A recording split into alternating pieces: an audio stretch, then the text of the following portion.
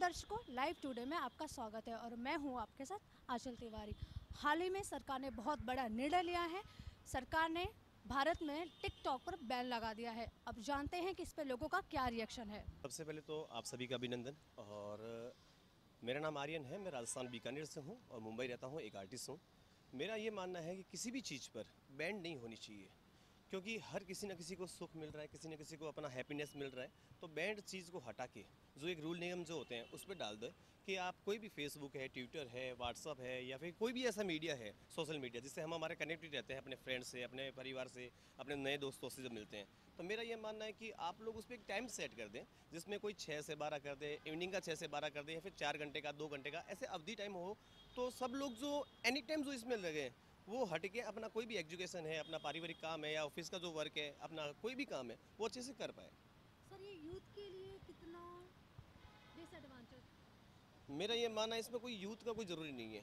आप इसमें five year से लेके करीबन सत्तर, अस्सी साल तक कोई भी लड़का, लड़की, बुज़ुर्ग, कोई भी इसमें कर रहा है, आप टिकटॉक पर अच्छे से देखेंगे तो इसमें पूरा वर्ल्ड ना कि पूरा भारत, पूरा वर्ल्ड इसमें इंक्लूड है। और ये बहुत कम समय के अंदर इतना टीआरपी उसने मिला है टिकटॉक मेरा तो ये मानना है बी फ्रैंक टिकटॉक बंद नहीं होना चाहिए। मैं भी कुछ ना कुछ कर रहा हूँ टिकटॉक में, ये नहीं है, लेकिन बहुत कुछ लोग कर रहे हैं, खाली मैं अपनी खुशी के लिए नहीं कहना चाह रहा, जो लोगों की खुशी है, वो मेरी खुशी मेरा ये मानना है कि टिकटॉक सरकार का दिया हुआ नहीं है।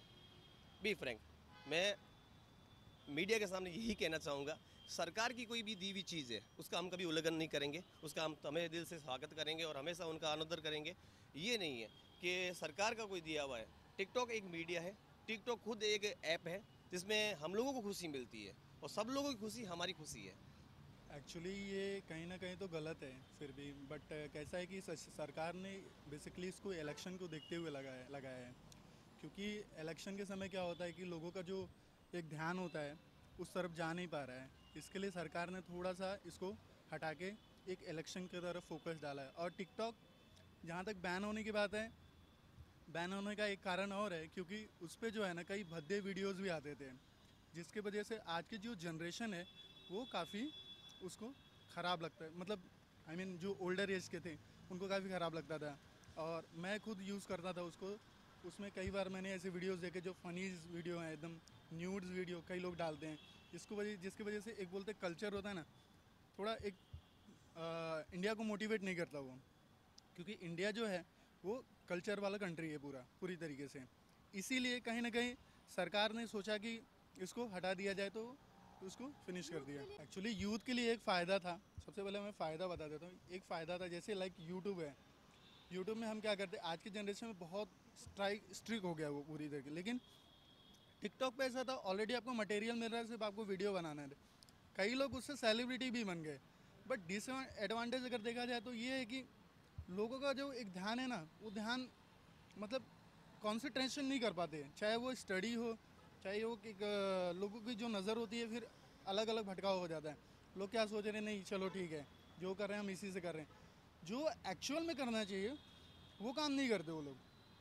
दिन भर टिकटॉक पे बिज़ी रहते, दिन भर वही वीडियोस वो वीडियो दुनिया भर का लफड़ा टफड़ा बना के, इसमें सिर्फ़ जो है, अपना कल्चर भी ख़राब हो रहा है प्लस अपना जो एक कहते हैं फोकस होता है, वो कहीं ना कहीं जा रहा है। बेकार। मेरे हिसाब से टिकटॉक ऑलरेडी ट्रैश था, अगर आप लोगों को पता है कि क्रिंज क्या होता है उसको देख के अच्छा नहीं लगता वो कुछ वैसा था।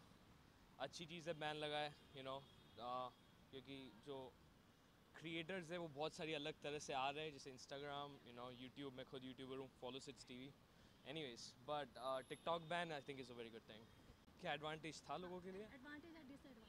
आई मीन एडवांटेज टिकटॉक के लिए ये था कि टाइम uh, पास था बेसिकली एंड uh, आप एक गाना गाने पे सिर्फ़ अपना चेहरा हिला रहे हो so I think so but disadvantage ये था कि you have to cringe you know हर जगह इंस्टाग्राम पे जाओ people are doing that shit so I think it's a waste of time for me आपने टिकटॉक यूज़ किया या कभी मैंने टिकटॉक नहीं ये पाप मैंने नहीं किया है। मैं लोगों को कहना चाहूँगा कि टिकटॉक भाड़ में जाए। वेरी गुड इसलिए क्योंकि बहुत सारे यूथ का टाइम वेस्ट हो रहा था टिकटॉक बनाने में। I think it's very good क्योंकि मुझे ऐसा लगता है बहुत सारे यूथ का टाइम सिर्फ़ टिकटॉक के वीडियोस बनाने में वेस्ट हो रहा था। पीपल फोकस नहीं कर रहे थे कि कहाँ पे यू नो देश जा रहा है कि कैसे खुद का भी ग्रोथ कर सकते हैं। जहाँ देखो टिकटॉक सेलिब्रिटीज़ बन के बैठे हैं लोग। अगर टैलेंट है तो सही जगह जाके दिखाओ। टिकटॉक उनको लगता है TikTok is the best way but हाँ अच्छा था। व्हेन शुरुआत हुई टिकटॉक वॉज़ वेरी गुड कि सबको, जिनको चांस नहीं मिलता, वहाँ से, वहाँ पे अपनी प्रतिभा दिखाई और सीरियल्स तक पहुँचे हैं लोग no doubt in that but एक दूसरी चीज़ जो गलत हो गई कि बहुत ज़्यादा अब्यूजिव स्टफ़ आने लगा। लोग भूल गए कि डेमोक्रेसी है बट उतना भी नहीं है कि आप अपने कल्चर से अगेंस्ट जाके चीज़ें करें टिकटॉक पे। क्योंकि बच्चे भी देखते हैं तो उन पर भी कहीं ना कहीं कल्चर पे बुरा अफेक्ट हो रहा था। अगर लोग पहले से वो दायरा डिसाइड करके रखते तो टिकटॉक यूज़ करना कुछ गलत नहीं है। बट जहाँ पे लोगों ने चूक की वहाँ सरकार जाग गई which is a good thing so I am in a favour disadvantage ये था कि बहुत ज़्यादा टाइम वेस्ट हो रहा था लोगों का और फोकस लोगों का यही रहता था कैसे टिकटॉक वीडियो बनाए। अपनी प्रतिभा चाहे तो वो स्टेज uh, शोज़ है या प्लेज है वगैरह करके भी दिखा सकते हैं। उस पर किसी का ध्यान नहीं था। उन लोगों को फ़ायदा ये हुआ कि एक इजी माध्यम मिल गया जहाँ पे वो लोग सीधे दिखा सकते हैं कि भाई हाँ हमारे में ये प्रतिभा है ये टैलेंट है। उसका फ़ायदा ये हुआ कि बहुत सारे लोगों को वहाँ से अर्निंग हो रही थी। सीधी बात है, दूसरा नाम फेम मिल रहा था और जिन्होंने टिकटॉक से नाम फेम मिला टिकटॉक सेलिब्रिटी जो बने, वो कहीं ना कहीं सीधे सीरियल्स वगैरह बॉलीवुड वगैरह में एंटर हुए हैं। I know few of them कि जो सीधे बॉलीवुड तक पहुँच गए which is a good thing but the bad thing is कि हाँ अब बंद हो गया so now you have to buckle up and start finding a work as you do earlier आपने कभी टिकटॉक बनाया है ऑब्वियसली सबसे जब शुरुआत हुई तो तीन चार वीडियोस बनाए। इट वाज अ फन मस्ती मज़ाक के लिए सही था बट जैसे देखा कि यार यहाँ पे तो बहुत गाली गलोच गंदे कंटेंट आ रहे फिर नहीं, बाबा, पापा देख लेंगे तो चलो चुपचाप से निकल लो टिकटॉक से। सो आफ्टर दैट कभी ना वीडियो बनाया, ना कभी देखा। दो तीन ऐसे गंदे वीडियो सामने आए तो फिर सोचा कि नहीं देखना चाहिए, बेकार है। टाइम वेस्ट है। सही लिया है ऑब्वियसली सही लिया है। प्रतिभा दिखाने के बहुत सारे तरीके होते हैं टैलेंट दिखाने के लिए यूट्यूब भी है। वो लोग सेग्रीगेट करते हैं कि अगर अच्छा कंटेंट है तो ही वो लोग अप्रूव करके आगे बढ़ाते हैं। ऐसे नहीं टिकटॉक ने अगर ये चीज़ रखी होती फिल्टराइज कि भाई अच्छा कंटेंट है देन इट्स वेलकम अगर बुरा कंटेंट है, वो लोग वहाँ पे कुछ बैंड लगा देते, ऐसी कुछ चीज़ें होती। या यूथ खुद उतना अपने आप को फ़ेमस करने में पागल नहीं हो जाता कि कुछ भी कर रहे हैं फ़ेमस होने के लिए instead of providing a good content तो शायद ये होता ही नहीं